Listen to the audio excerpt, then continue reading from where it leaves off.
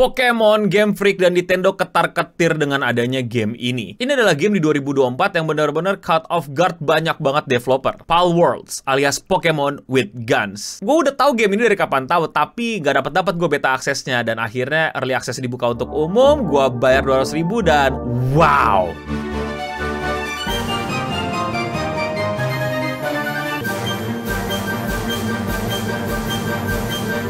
Banyak orang membandingkan game ini kayak Pokemon karena ya sistemnya mirip gitu. Nangkep monster dengan bola, darahnya lu tipisin dulu, terus lu tangkep, terus jadi milik lu. Lalu eksplorasi untuk temuin berbagai macam jenis PAL yang baru-baru dan aneh-aneh. Tapi setelah gue main sekitar 20 jam, gue lebih ngerasa game ini tuh sangat-sangat lebih mirip dengan Ark Survival. Karena Pokemonnya di sini tuh bener-bener cuman ya buat seru-seruan iya, tapi kayak mereka tuh dikumpulin bukan buat kita adu berantem doang, melainkan jadi tenaga kerja yang bakal ngerjain base lu. Nah makanya kayak Ark Online kan lu punya base, lu bangun-bangun bangun, terus lu bikin pertahanan, lu bikin penyerangan, lu bikin sumber daya makanan, lu bikin sumber daya listrik dan lain-lain dan lain-lain. Dan itu semua perlu pakai pulse atau monster-monster di game ini. Game dari Pocket Pair ini harganya cukup lumayan lah 200 ribuan. Beberapa kali ada diskon. Speknya uh, middle to up sih ini lu kalau punya low spek agak-agak bete sih lu. Secara gameplay kalau lu udah pernah main Ark, kalau lu udah pernah main Pokemon, lu akan sangat-sangat terbantu, lu akan sangat-sangat kayak langsung ngeh gitu. Lu mesti apa, mesti melakukan apa, mesti bikin apa, mesti nangkep yang kayak gimana, mesti bertahan hidup hidup kayak gimana. Tapi kalau lu nggak pernah main game survival dan lu nggak pernah main game Pokemon, lu gue rasa akan mengalami banyak kesulitan untuk memulai untuk ngapain lu di sini. Karena tutorialnya sangat sedikit, karena petunjuk dan how to-nya sangat sedikit, pencet tombol apa untuk begini, klik kanan apa klik kiri untuk begitu, itu bener-bener nggak kelihatan dengan jelas, nggak terarah dengan jelas. Lu bener-bener dilempar ke dunia dan coba lalu untuk bertahan hidup di sana dengan sedikit minim pengetahuan dan banyak coba-coba. Beda sama Ark yang menurut gue terlalu ribet bangun base-nya dan gimana cara lu bikin base itu automated. Di sini selain lebih berwarna banyak banget juga kemudahannya untuk bikin base gitu. Yang gue suka adalah patokannya adalah komputer di rumah lu. Itu kayak pusat base, pokoknya lu lihat situ, lu fokus sama hal itu. Lu fokus sama upgrade-nya, lu fokus sama apa yang dia butuhkan, lu fokus apa yang dia sediakan dan dia komandokan. Hidup lu akan baik-baik saja, base lu akan makin upgrade, makin automated dan makin kuat penyerangan lu, makin kuat defense lu dan makin dapat resource aneh-aneh dan makin seru. Oh ya, game ini tuh sistemnya pakai server-serveran gitu ya. Jadi lu bisa single player nih asik sendiri, tapi kalau lu mau bareng-bareng sama orang, lu bisa undang dia ke dunia lu ke server lu atau lu join server orang lain. Kalau lu pernah main Zomboid, pasti lo akan paham apa yang gue maksud. By the way, servernya lebih stabil dan lebih enak ngurusnya daripada Zomboid. Untuk action dan battle-nya sangat-sangat satisfying dari melee ataupun range. Walaupun variasinya gitu-gitu aja, tapi tetap aja seru gitu nembakin monster-monster gede. Tapi yang sangat-sangat masih mengganggu adalah pertarungan antar pulse-nya, antar monsternya itu. Kadang-kadang monster kita tuh kayak ngaco gitu, kayak nggak nyerang, kayak diem aja, dipukul diem aja, tapi monster bisa menghindar. AI-nya masih sangat-sangat kurang pinter, kurang aktif, kurang peka, jadi kayak apa ya, terlalu diem gitu. Kalau misalnya udah disempurnain, gue rasa akan seru banget gitu battle-nya. Ada pohon di depan pal saya langsung bingung gitu mau ngapain. Eksplorasi, wah gue suka banget sama eksplorasinya. Banyak orang yang bilang dunianya kosong, tapi gue malah bilang enggak loh. Gue seru banget gue keliling ke pulau ini ketemu Pokemon ini. Gue keliling ke sini ke celah-celah ini, eh dapat peti. Gue keliling ke sini, gue mental ke sini, eh dapat telur. Gue jalan-jalan ke sini nemu bos. Gue suka banget jalan-jalannya, eksplorasinya gue nikmat banget. Banyak orang asik ngurusin base, gue pribadi malah asik eksplorasi, nemuin Pokemon, nangkepin Pokemon. Maksud gue Pulse Monster, sorry, salah sebut. Dan seneng aja itu keliling dapat tempat baru, dapat Pokemon baru, Pokemon yang nggak ngulang itu-itu aja. Tuh kan nyebut Pokemon lagi gue Pulse, sorry Pulse. Yang jelek dari eksplorasinya adalah dungeon dan boss battle-nya. Gitu-gitu semua tempatnya sama, stage-nya sama, agak-agak apa ya? Mungkin mereka belum beli model atau bikin model map yang baru. Jatuhnya jadi nyebelin aja gitu, kayak tempatnya gede tapi kosong banget dan ngulang-ngulang doang. Very very not interesting. Kecuali kalau misalnya lawan bos gitu masuk langsung ketemu bos, penasaran bosnya kayak gimana, battle kayak gimana. Tapi eksplorasi dungeon dan secret dungeon ataupun secret boss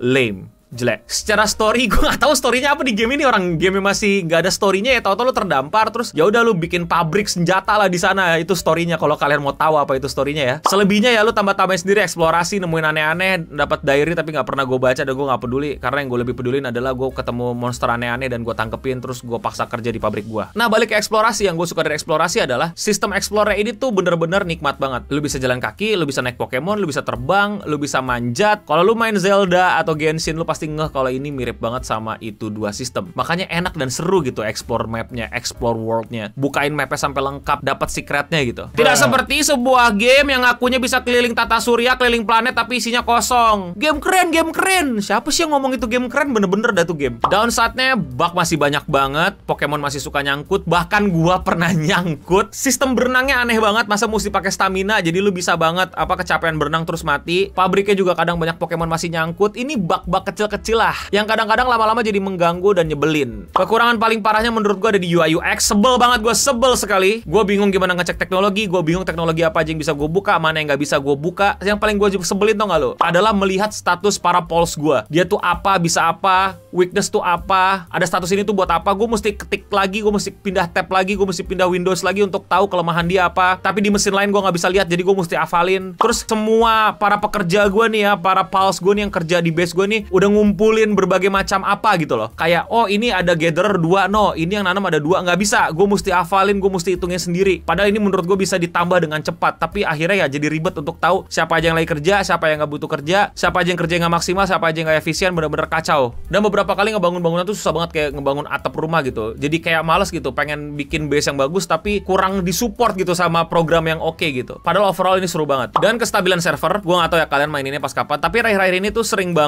DC. Gue udah cek server gue aman-aman saja, bahkan pas lagi single player pun bisa DC. Ya gue tahu ini karena kebanyakan orang mulai main, mulai beli. Developer mungkin nggak menyiapkan server sebanyak ini, jadi ya mungkin overwhelm, mungkin kepenuhan, terus jadi bingung, belum bisa tambah server atau lagi mau fixin sesuatu dan lain-lain. Jadi gue bisa paham di situ. But overall ini game sangat-sangat seru. Somehow gue seneng gitu Pokemon ada saingannya. Dalam dunia ini persaingan sehat harus terjadi. Dan gue tahu Pokemon udah bikin statement tentang Palworlds dan gue harap Palworlds bisa berdiri dan Pokemon juga bisa berdiri. Ini juga bisa jadi kayak semacam pesan gitu loh buat para pendiri Pokemon gitu. Jangan terlalu kaku amat lah. Tuh lihat tuh sekalinya ada game monster-monsteran ditaruh di konsol yang bukan Nintendo bisa langsung meledak. Yakin ini masih mau eksklusif Nintendo. Karena gue suka Pokemon tapi ya gue butuh Nintendo buat main Pokemon. Bahkan gue mesti bayar untuk main online. Ya untuk jadi konsiderasi aja dan buat gue persaingan jadi makin sehat. Siapa tahu Pokemon jadi punya inovasi baru gitu. Tapi buat kalian yang udah mainin gimana? Komen di bawah. Kalau kalian suka sama konten kayak gini dan kalian mau support gue, kalian bisa klik tombol subscribe di bawah. Dan kalau kalian mau support gue lebih lanjut, kalian bisa klik tombol join di bawah atau gabung sehingga kalian join membership channel ini dan kalian bisa dapatin banyak benefit. Salah satunya adalah join private Discord gue. Gue sangat-sangat merekomendasikan game ini. Gue pengen banyak orang lebih main game ini karena buat gue apa ya? Gue seneng banget. 2023 game yang menang Game of the Year adalah game turn based. Game yang sangat-sangat tidak populer di Indonesia, game yang sangat-sangat dibenci sama orang Indonesia tapi mereka kaget ternyata ada game kayak gini. Dan di 2024 di awal bulan kita nggak dapetin game-game orang parkur, jalan-jalan, bunuh-bunuhin single player, upgrade armor dengan menguatkan cerita dan pesan moral dan lain-lainnya. Ini game yang sangat-sangat melanggar pesan moral. Ini game gimana cara kita ngelemahin makhluk,